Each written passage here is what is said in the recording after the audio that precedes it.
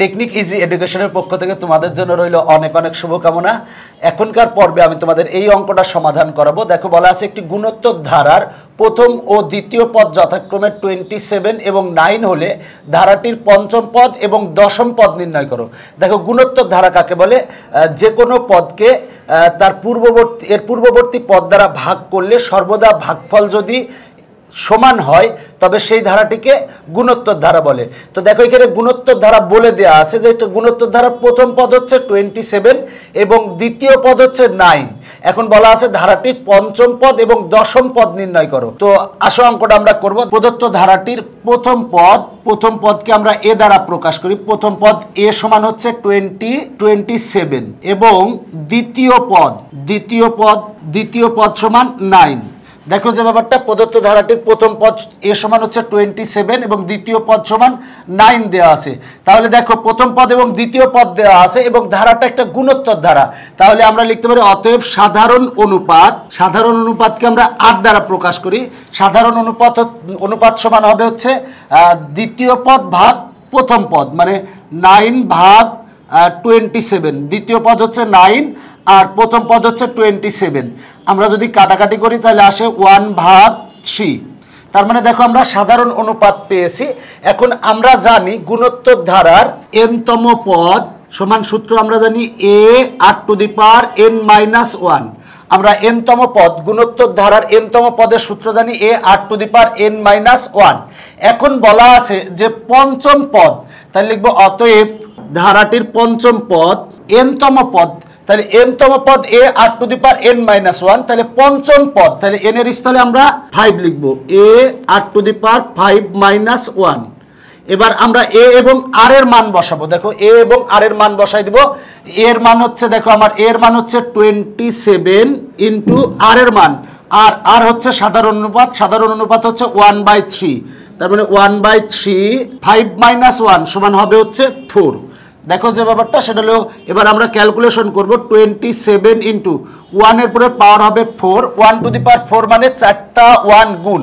চারটা ওয়ানকে গুণ করলে ওয়ান হবে, আর three to the power four মানে চারটা থ্রি গুণ মানে চারবার থ্রি আমরা গুণ করব। চারবার থ্রি গুণ করলে হয় এইটটি ওয়ান এবার যদি আমরা কাটাকাটি করি, কাটাকাটি করলে আসে ওয়ান বাই থ্রি এটা হচ্ছে আমার অ্যান্সার তার মানে আমার বলছিল যে পঞ্চম পদ কত? তার মানে আমরা পঞ্চম পদ পেয়ে গেলাম। পঞ্চম পদ হচ্ছে ওয়ান বাই থ্রি দেখো যে ব্যাপারটা, সেটা হলো যে এরপরে বের করতে বলা আছে দশম পদ। তাহলে দশম পদ লিখব, তাহলে অতএব ধারাটির দশম পদ।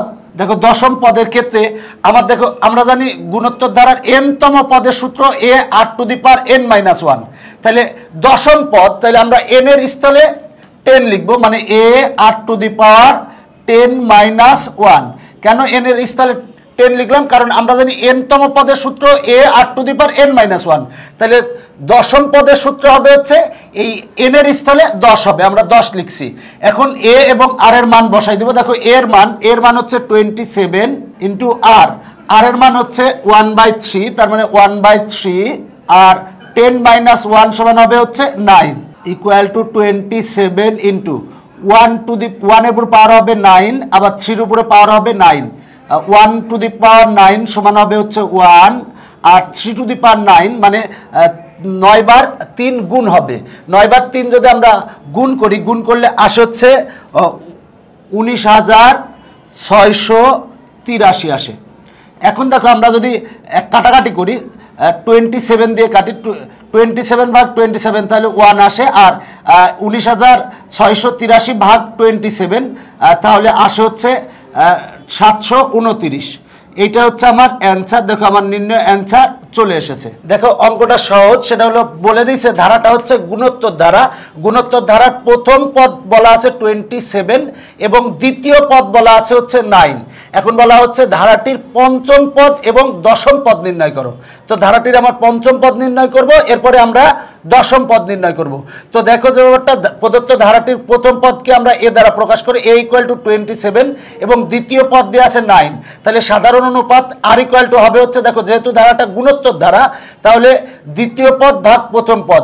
তাহলে আসে ওয়ান বাই থ্রি সাধারণ অনুপাত পেলাম ওয়ান বাই থ্রি আমরা জানি গুণোত্তর ধারার এনতম পদের সূত্র হচ্ছে a r to the power n minus one অতএব ধারাটির পঞ্চম পদ, তাহলে ধারাটির পঞ্চম পদ কত হবে? আমরা এনের স্থলে ফাইভ লিখব। দেখো এনের স্থলে আমরা ফাইভ লিখছি।